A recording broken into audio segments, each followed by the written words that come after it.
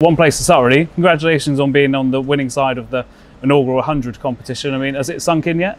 Not really. Um, it's a pretty special night Saturday. Um, obviously, really delighted to win um, and be a part of such an amazing tournament. It's been a great five weeks. Um, and yeah, it's just been a great time for cricket, really. It's good to see so many people getting behind it, and it's not really had that platform before. So it's, yeah, it's been awesome to be a part of it. It's, it was quite a story for you as well, because obviously you were the the wild card pick as well, so you didn't really know you were going until yeah. late. Yeah, no, it happened pretty late on. Um, you know, I, I, wanted to get a wild card. That was the goal at the start of the season, and then to, to get picked up, which was yeah, a special feeling. And then I knew how how big this tournament was going to be, and to be a part of it was was cool. And uh, it's quite a, quite an interesting story for you as well. Obviously, teacher first, and then cricket on the side, and then you signed your first professional contract at 28, so quite late on. I mean, how how's the journey been for you? Yeah, it's been um, a different journey, I guess. It, it's sort of a, a, bit of a lesson for kids out there that things can happen much later. It doesn't have to happen at the age of 18. Um, I've always had the belief that I could get to where I want to get to, and got there eventually. And you know, it didn't change the way it felt on Saturday night. It was it was unbelievable, and um, yeah, just chuffed to bits to to obviously sign my first contract. Even though it's 28, it's still plenty of years left, hopefully, and you know, a good opportunity to keep expressing myself. And what have your pupils been like since you've been, you know, all this fame's come about? Have they, you know, been talking about you or saying anything to you? Yeah, I had a few emails. A few of them have slid in on Instagram and messaged me, wishing me good luck. And no, it's been good. I think it's great for them to be able to see.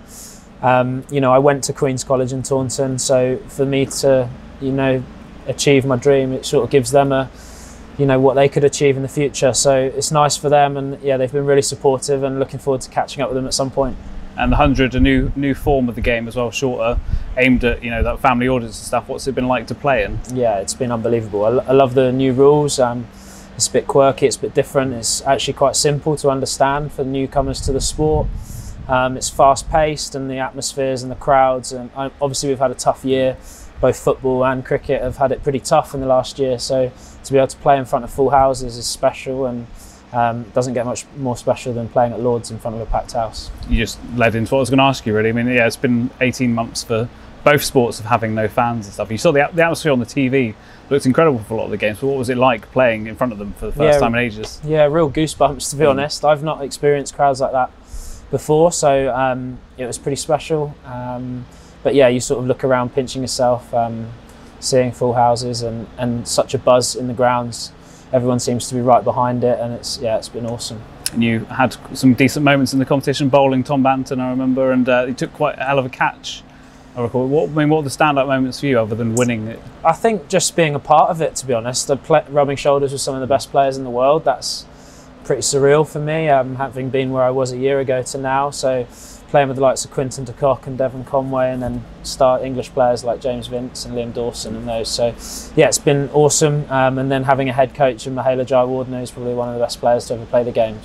Um, so, yeah, that's probably the big standout for me is just rubbing shoulders with those guys. And the great news doesn't stop there. I mean, you're off to Barbados this week to play in the uh, the Caribbean Premier League uh, for the Barbados Royals. I mean, wow, that's it's got to be something to look forward to. Yeah, that's going to be good fun. I think um, I've heard lots of good things. Um, good friends with Carlos Brathwaite, um, and he plays with me at Warwickshire, and he's yeah he's told me a lot of good things about the tournament. Looking forward to having some good fun. Um, playing, you know, it's going to be a really tough competition, um, and hopefully, well, it's sunny here now, so hopefully it'll be sunny when I get there. It looks pretty hot at the moment. And like we discussed earlier, probably not something that you expected to happen come the start of this year either. Yeah, no, definitely not. I mean, you have those goals and ambitions to get to that level, but to, for it to happen so quickly is um, pretty surreal, and I'm just trying to take it all in at the moment, really. And um, I'm sure there'll be a time over the next couple of weeks where I can reflect on it and be proud of what I've achieved. Excellent. I guess now we should probably move on to why you're here, really, um, and Exeter City. I mean, you're proudly wearing the home shirt there. Yeah, we're um, in. Where did your Exeter City supporting journey begin? Well, unfortunately, it began the, the season we got relegated from the Football League. Um, some pretty dark days back then, but um, the club's in obviously in an awesome place at the moment, and um, it's great to see the club doing so well, both on and off the field. And yeah, I've been a keen follower of Exeter up and down the country, um, Carlisle away, you name it, I'm there. So um, big fan of the club, and yeah, love everything about Exeter City. I guess at least those early moments didn't put you off coming back as well. No, yeah, I was real young at that point, um, but yeah, definitely didn't put me off. Um, just love the live sport element and the atmosphere here at the park. It's great. Um, feel really close and you feel a part of it as a family club. So yeah, I've always loved coming here. What have been your sort of standout moments from following the club? Would you say? I'd say those League One days were pretty special when we finished eighth in, in League One. That was a great year. I remember following following the team around the country, and I think we won away at Charlton three one, and that was a that was an amazing away day. Um, but yeah, there's loads of highlights obviously along the way. We've had Old Trafford, the, the nil nil Old Trafford, the Liverpool game.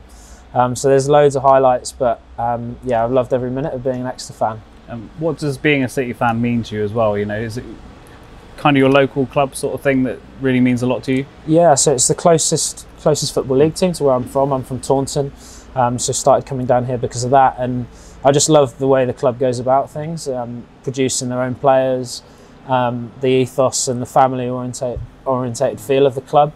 Um, yeah, it's a it's a fantastic club, and they do a lot of things right. Um, and it's great to see them doing so well. Hopefully, we can have a really good year this year and push on and try and get into League One because I think ultimately all of us as Exeter fans want to see the club club push forward, and we've been close the last few years, and I don't think we're that far away. I mean, how does being a City fan fit in with your probably hectic schedule of one being a teacher and two being a professional cricketer and three heading off to Barbados soon? Yeah, it's tricky. I, I, you know, it's mixed emotions. Obviously, going off to Barbados is great, but it means I miss a few few trips down to the park and away away from home. So, yeah, I I obviously normally miss April and August in terms of football, which is the business business end of the season, which is unfortunate. But I'm looking forward to getting back from Barbados sort of mid September and getting to plenty of games, hopefully. Um, and you're also I mean, you're wearing the wristband there now, but you're a strong supporter of the Adam Stansfield Foundation. I mean, Yeah. I think you've done some runs in the past for it and things. I mean, what does it mean to you? Yeah, for sure. Adam was obviously um, an amazing footballer, but um, most of all, he, you know, he's a good man and um, really popular around the club. And obviously, it's such a sad, sad way to lose him. But yeah, I've tried to support the foundation as best as possible. Do some amazing work, um, and yeah, I've done, I've done a half marathon and, and donated plenty of stuff to them. Um, it's great to see them doing so well and raising so much money for such a great cause. We're sat in the Adam Stansfield stand now. You know, his song is sung at every City game. It's great that his memory will live on forever, isn't it? yeah, it's awesome. It's um, it's a special song. I remember um, when we were, at, I think we were at Portsmouth away, and we sang it for pretty much ninety minutes. Um, that was a that was a pr- real highlight, and sort of shows what he means to means to the fans of the club. And uh, you, I think you said that you were here last year for the Tranmere game, which I mean, it was a great game to be to. But I mean, what was that experience like? Because it was, you know, there was only about fifteen hundred fans here. But was it great on one hand to be back? But did it feel a little bit surreal? Yeah, I think it was it was really tough for everyone, wasn't it? Without football, so a lot of people need that, and you feel like I said, touched on it earlier. It's a real family club, and to not be able to come and support your team is is tough. Um, and there's only so much iFollow you can watch. um, so no, it was great to come back to the park and great to see. You know, it means a lot to players. I can relate to it as a as a cricketer when there's people in the grounds. There's just no better feeling than putting on performances for them. So. I know how much the players would have missed it, and I know how much the fans missed it too. And we're two or three games into the new season as well. A lot of cha- change in terms of players and things around the club. I mean, what what have you made of the start so far, and how how do you hope it's going to end? Yeah, it's obviously there's lots of new players come in, which can take some time to gel. Um, but really excited about the amount of young players coming through. Um, and, and Matt Jay's really developed in the last couple of years and seems to be leading the team really well. So really confident about, about the season and hopefully we can make a good push for, for the playoffs and who knows maybe that top three. But I think obviously we're a young side, so there's going to be ups and downs along the way. But I'm sure that um, it'll end in a positive manner. Hopefully, come the end of the season. Awesome. Well, thanks for coming in to see us, and good luck in Barbados. Not that you'll need it. Thanks very much. Cheers, guys.